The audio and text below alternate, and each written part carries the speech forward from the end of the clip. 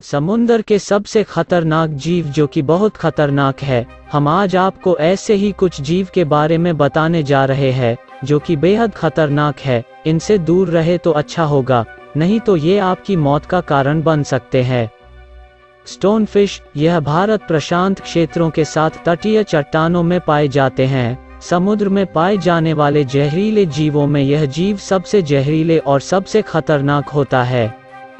Stone fish बहुत ही चालाक और छलावरण वाली मछली मानी जाती है। यह मछली अपनी शिकार को मारने के लिए या किसी पर हमला करने के लिए अपनी रीढ़ से बहुत ही घातक न्यूरोटोक्सिन जहर छोड़ती हैं। इस मछली का जहर इतना खतरनाक होता है कि पल भर में ही किसी का भी दिल की धड़कन रोक सकती है और मृत्यु का कारण बन सकता है।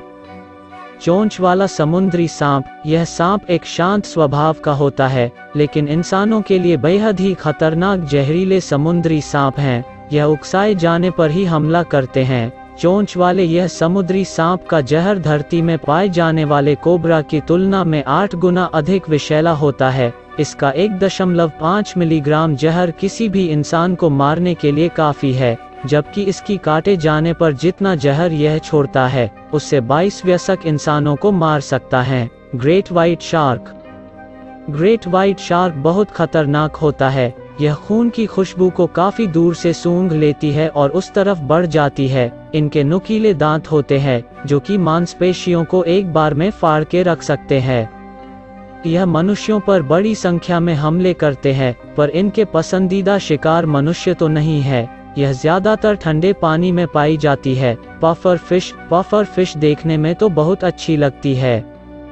पर इसके दिखावे पर मत जाना, ये बहुत खतरनाक होती है। यह एक साथ तीस लोगों को मार सकती है। इसमें टेट्रोडोटॉक्सिन पाया जाता है, जो कि साइनाइड की तुलना में 1200 गुना अधिक घातक माना जाता है।